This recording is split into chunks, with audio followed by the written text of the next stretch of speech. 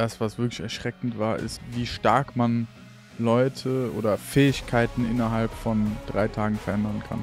Schnellstmöglich auf einem höchstmöglichen Level ins Tun zu kommen und Ergebnisse zu erzielen. Genau. Der Weg ist das Ziel, das Tun ist das Entscheidende. Und wenn ich Spaß an der Herausforderung habe, wenn ich Spaß an dem Prozess habe, dann erreiche ich das Ziel sowieso.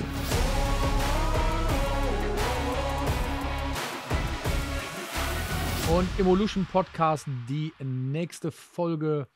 Heute wollen wir so ein bisschen Rückblick halten auf die letzten 14 Tage. Zwei Bootcamps, die wir gehabt haben. Einmal Einkauf mit System und in der letzten Woche das Thema Multiplikatoren, Direktmarketing, Bootcamp und was du ja auch maßgeblich äh, geleitet hast. Lieber Leon, Zumindest eins davon. endlich mal wieder da. Mhm. Wo warst du denn eigentlich so lange? Ich habe mir eine kleine, Aus ich habe mir eine kleine Auszeit Un untergetaucht. Ja. Äh, Ja, erzähl doch mal so deine Eindrücke, die du hattest. Ja, Die erste Frage ist ja erstmal, wissen die Leute eigentlich, warum wir die Bootcamps machen oder was es damit auf sich hat? Gute Frage. Ich Warum glaube, machen wir sie? Genau, warum machen wir die? Soll ich einfach mal erklären? Ja, klar. Okay, also, ähm, was für uns ein ganz, ganz wichtiger Teil ist ähm, und auch einer unserer Hauptziele, die wir mit der Arbeit verfolgen, ist ja, unsere Kunden ins Handeln zu bringen. Ja, und ähm, wir haben zusätzlich zu unseren Beratungs- und Coaching-Programmen ähm, Bootcamps mit ins Programm aufgenommen. Bootcamp bedeutet, dass die Leute die Möglichkeit haben, zu spezifischen Themen, also auch bewusst die Betonung zu spezifischen Themen, ähm, zu uns ins Büro zu kommen, wo wir ein ganz klares Programm zusammengestellt haben, was das Ziel hat, die Leute in Handeln zu bringen, also in die Praxis wirklich zu simulieren, zu üben, zu trainieren oder sogar wirklich auszuführen. Beispielsweise Multiplikatorenaufbau, dass wir live die Leute hier trainiert haben vor Ort auf das Thema Einwandbehandlung, Telefonleitfäden, ähm, ähm, wie führe ich überhaupt ein richtiges Gespräch, Tonalität, Energie am Telefon, Prozess dahinter und sind sogar so weit gegangen, dass wir mit den Leuten hier live telefoniert haben und ähm, extrem krasse Erfolge generieren konnten. Genau, und das ist eine Sache, die wir regelmäßig machen, in äh, mehrmals äh, im Quartal zu verschiedenen Themen. Okay, ich muss vielleicht äh, ähm, ähm, ergänzend noch eine Sache hinzufügen, und zwar, dass es halt tatsächlich aus meiner Erfahrung jetzt aus den vielen Jahren Coaching, wie du es ja gerade gesagt hast, in die Umsetzung kommen, eins der größten Probleme ist. Und ich sag mal, das ist auch teilweise verständlich. Ne? Also wenn jetzt jemand nicht super trainiert ist, nicht super weiß, wie Zeitmanagement, wie das alles funktioniert, dann ist ja der Alltag eines Selbstständigen, ist ja viel zu tun. So, und das heißt, viele flitschen da einfach weg Ja. und kommen einfach durcheinander und kriegen das dann, und das ist auch eine Erfahrung, dass äh, viele eben so reines Online-Coaching dann irgendwie mal starten, gut gestartet, ne? aber schlecht durchgezogen. Mhm. Und dann kommt halt auch Unzufriedenheit auf. Ne? Und unser System baut halt eben darauf auf, dass wir das maximal supporten, unterstützen, dass sie halt wirklich sehr, sehr viel mitnehmen und sehr viel rausholen. Ähm, Und das ist uns halt einfach sehr, sehr wichtig, weil wir wollen halt nicht einfach nur irgendwas verkaufen und am Ende haben wir Geld verdient, aber die Leute haben keinen keinen Mehrwert, weil sie es nicht umgesetzt Ja. bekommen. Und da sind wir ja wirklich sehr, sehr stark hinterher. Ja. Was waren denn jetzt deine Erfahrungen von der letzten Woche? Also drei Tage Bootcamp, Multiplikatoren und ähm, Direktmarketing. Was so, wenn du mal hinschaust, was war da so deine Erfahrung? Also die, ähm, das, was wirklich erschreckend war, ist, wie, also wie krass oder wie, wie stark man Leute oder Fähigkeiten innerhalb von drei Tagen verändern kann. Oder aufbauen kann, Bess äh, besser gesagt. Ne? Also wenn die Bereitschaft da ist und man auch in der Lage oder bereit dazu ist, sich seinen Ängsten zu stellen oder seiner oder aus der Komfortzone rauszukommen, dann kann man in drei Tagen echt viel bewirken. Das ist mal ein Punkt, äh, der mir sehr klar geworden ist. Punkt Nummer zwei ist, dass der Ursprung für Ergebnisse einfach das Tun ist.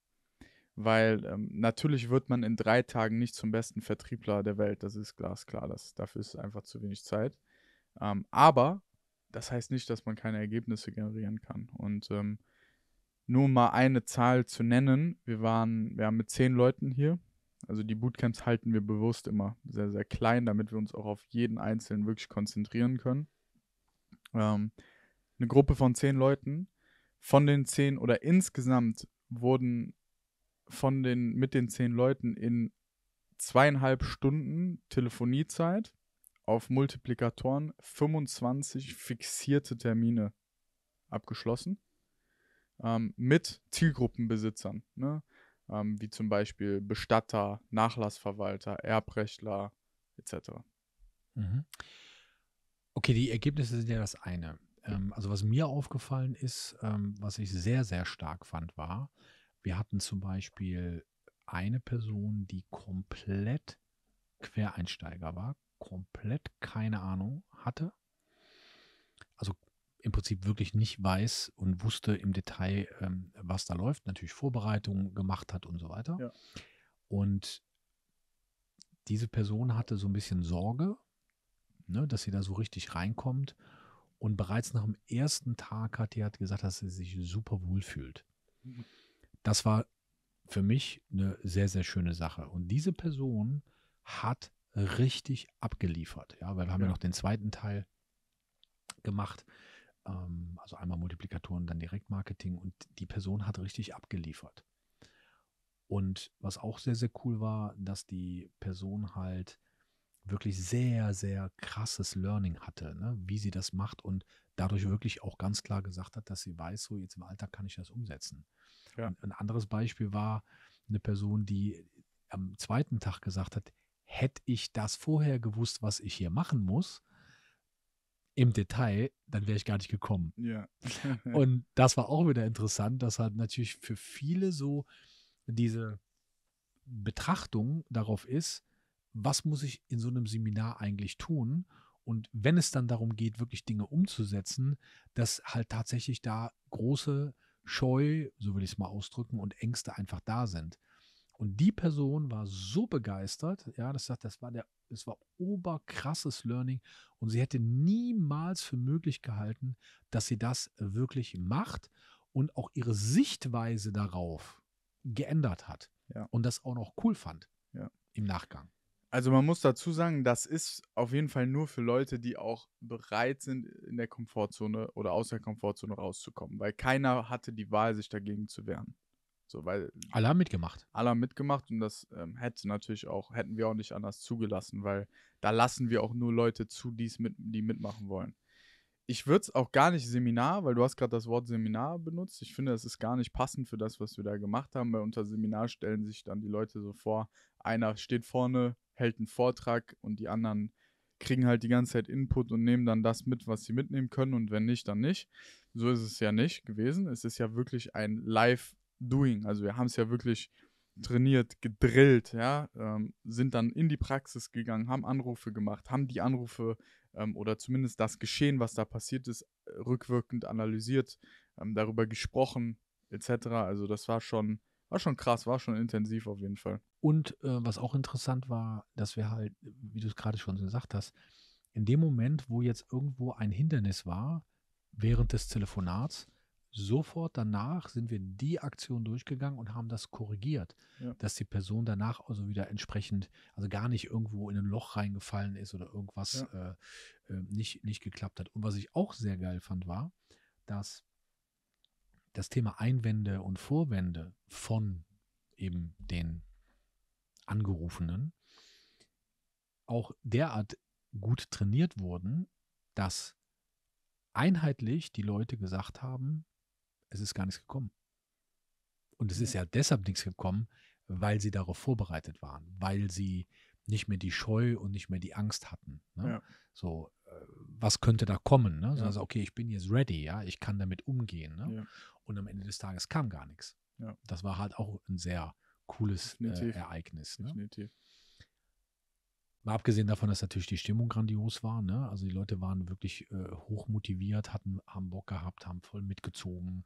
Und es war einfach äh, wirklich äh, Spannend, ja. Es Ja. war ein spannender Prozess, eine spannende Reise für jeden Einzelnen. Also das fand ich schon sehr, sehr cool. Also das hat unheimlich viel Spaß gemacht. Für mich war es ja noch mal was anderes, ja, weil ich jetzt, sagen wir mal, dieses Mal gar nicht so viel machen musste, weil du ja mit äh, deinem Mitarbeiter gemeinsam, der dir assistiert hat, sehr, sehr viel gemacht hast, gerade was so Leitfäden, äh, Vorgehensweise, Einwände, Vorwände etc. Ja. Und ich konnte das ja so ein bisschen ähm, von außen beobachten und das war einfach toll. Das war einfach total schön und hat sehr, sehr viel Spaß gemacht, das zu sehen, wie auch der Einzelne sich entwickelt hat. Also wir hatten ja einen dabei, der war so, sagen wir mal, ähm, sehr ernst die ganze Zeit, ne? Der war sehr, sehr ernst und irgendwie so, Ja, also habe ich Bock, habe ich den- keinen Bock, ne? Ja, Also den, ich den Bock. Leuten auch den Spaß in der Sache zu zeigen. Genau, Ne? Weil ja. ich mache da immer gerne so das Beispiel. Ich meine, wenn wir jetzt uns mal anschauen, wie viele Leute kennt man, die im Fitnessstudio irgendwo angemeldet sind. Ähm, aber wenn man jetzt mal hinterfragt, okay, warum sind die Leute im Fitnessstudio angemeldet? Dann sind halt die meisten, und ich würde schon wirklich sagen, eigentlich 99,9 Prozent sind im Fitnessstudio angemeldet, weil sie einen besseren Körper haben wollen. Aber vielleicht nur der, also wirklich die absolute Minderheit sind im Gym angemeldet, weil sie Spaß am Training haben. So, aber wer hat denn jetzt den besseren Körper? Ja klar, der, der trainiert, ja. Der, ist Der, der, der, der das trainieren mag, weil der muss nicht darüber nachdenken, gehe ich jetzt ins Gym oder nicht, weil ich habe ja Spaß daran. Naja, es ist Ja. ja auch, äh, äh, es ist ja auch so, Warte ganz kurz, um Mhm. den Punkt zu Ende zu bringen. Für mich ist eine Sache immer sehr, sehr wichtig, wenn wir sowas machen, den Leuten auch den Spaß darin zu bringen. Ja. Ja, weil es ist ein Game, es ist ein Spiel und wenn man den Spaß darin nicht findet, dann ist es halt auch schwer, immer wieder die Disziplin aufzubringen. Mache ich das jetzt, mache ich nichts, nicht. Deswegen ist halt in der Ursächlichkeit wichtig, den Leuten zu verstehen, äh, äh, beizubringen, warum das Ganze auch Bock macht. absolut, weil, weil die würden es ja sonst, wie du es richtig gesagt hast, nicht beibehalten. Ja, weil der Weg ist das Ziel. Also Genau. der Weg ist das Ziel, das Tun ist das Entscheidende. Und wenn ich Spaß an der Herausforderung habe, wenn ich Spaß an dem Prozess habe, dann erreiche ich das Ziel sowieso. Ja, wir gehen schon gerne ins Fitnessstudio am Ende des Tages, äh, wenn er da keinen Bock drauf hat, ja. So, und wenn er da Spaß dran hat, wie du es richtig gesagt hast, dann, dann bin ich auch bereit, äh, an mir zu arbeiten, meine Muskeln zu entwickeln. Dann gehe ich Und- gerne zum Training. Genau, das ist der Punkt. Und, Ja. und ähm, das, ist, das ist ja, wenn du so willst, der tiefere Sinn der ganzen Sache. Dass man die Fähigkeit entwickelt, es zu können. Und wenn man etwas kann, dann macht es auch Spaß. Weil Ja. man hat ja keine, keine Angst mehr vor irgendwas. Ne? Wer könnt, was könnte jetzt einer sagen? Äh, Komme ich da drauf klar oder ähm, geht es mir da schlecht bei oder was auch immer. Ne? Ja. Also das war schon, war schon sehr, sehr cool.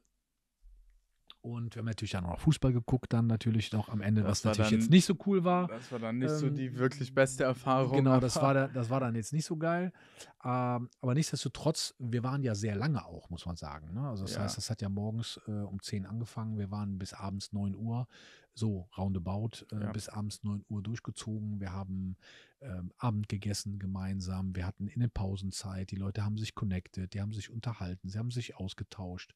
Also es war auch viel Raum äh, da, um so alle Dinge zu beleuchten und darauf einzugehen. Und wir haben wirklich auf alles geachtet, ähm, was man braucht, um jetzt im Alltag sozusagen das äh, zu integrieren und mitzunehmen. Ja. Und jeder und alle haben gesagt, hey geil, das war genau das Ding. Das war genau das, was ich gebraucht habe, um das letztendlich in der Praxis anzuwenden. Absolut richtig, ja. Genau. Und äh, die Woche davor, da warst du jetzt nicht dabei, ähm, da war das mein, mein Part, da war es natürlich genauso, beim Einkauf auch, wo die, wo das Gleiche halt wieder stattfindet. Ne?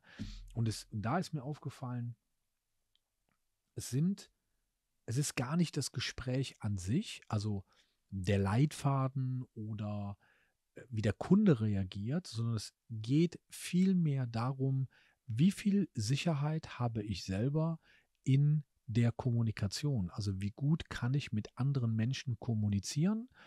Ne? Und da war so eine Sache, da ging es dann auch um Einwände beim, beim Einkauf, Alleinauftrag und Kaufpreis und so weiter. Mal so die, ich würde es mal so ausdrücken, das ist beim anderen Thema natürlich genauso, diese, was macht die Aussage des zukünftigen Kunden oder des Interessenten, was macht die eigentlich mit mir? Triggert die mich, zieht die mich runter, macht die mich so ein bisschen durcheinander. Und da ist der große Ansatzpunkt, was ich jedem da draußen nur sagen kann. Da ist der Punkt. Weil wenn du dich von dem Wunschpreis des Verkäufers triggern lässt, in welcher Form auch immer, dann bist du schon mit einem Bein wieder im Misthaufen. Du, fängst an zu argumentieren, Ping-Pong zu spielen. Genau, ne, QA und bla bla bla und hin und her. Und das ist das Ding. Und das haben wir den Leuten im wahrsten Sinne des Wortes ausgetrieben. Ne? Das ist auch also wirklich ausgetrieben oder andersrum formuliert beigebracht. Und das Coole da war, dass ich dann, weil da können wir jetzt natürlich keine Verkäufer einladen, das ist halt leider, müssen wir halt ein bisschen wirklich Theo also Training machen, äh, Simulation. Äh, Simulation machen. Aber das Coole war, dass es danach bei den Teilnehmern Alleinaufträge gehagelt hat. Also das heißt, ich kriege ja dann die Nachrichten, ja, und ich habe schon äh, umgesetzt, ich habe einen Alleinauftrag gemacht, habe dann wieder einen Alleinauftrag gemacht. Also wir waren äh, Dienstag, Mittwoch, dann hatten sie Donnerstag, Freitag Zeit und da kam sofort ähm, Erfolgsmeldung. Sofort Erfolgsmeldung. Wobei wir da auch ich die Erkenntnis hatte, das wird in der Zukunft auch drei Tage sein. Äh, nicht zwei Tage, sondern drei Tage das Seminar. Das werden wir auch auf jeden Fall machen.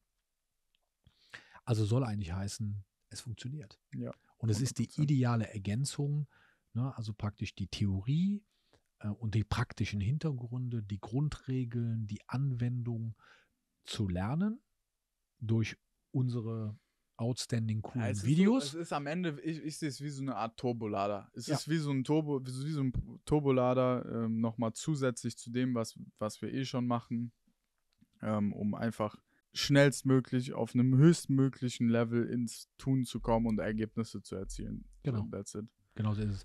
Erzählt ihr doch mal da draußen, vielleicht schreibt es in die Kommentare rein, was ist denn eure Erfahrung mit äh, Training, mit Coaching, mit Seminaren? Ähm, welche Fragen habt ihr vielleicht auch, damit wir die mal demnächst mal aufgreifen können in dem Podcast?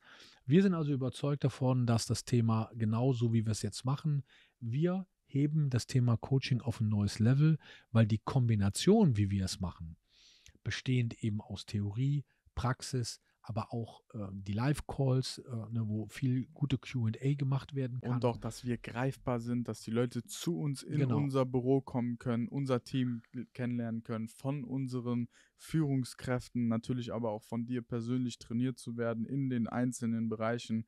Das ist eine einzigartige Sache und das wird so ein, ein Faktor sein, auf den wir uns in Zukunft mehr fokussieren wollen, weil ähm, das funktioniert eben. Das ne? funktioniert. Genau, und falls Kunden von uns zugucken, können ja auch mal in die Kommentare reinschreiben. Vielleicht war, guckt ja der eine oder andere, nicht nur vielleicht, wahrscheinlich sogar der auf den Bootcamps war. Schreibt einfach in die Kommentare rein. Und äh, ja, wir wünschen euch alles Gute und viel Erfolg bei yes. eurem Business und bei der Umsetzung.